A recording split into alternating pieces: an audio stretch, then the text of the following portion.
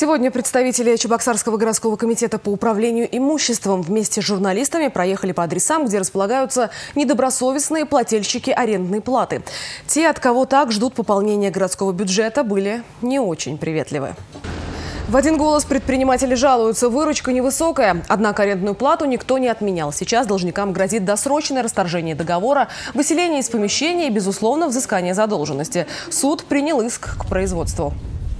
Бюджет города Чебоксара является социально ориентированным.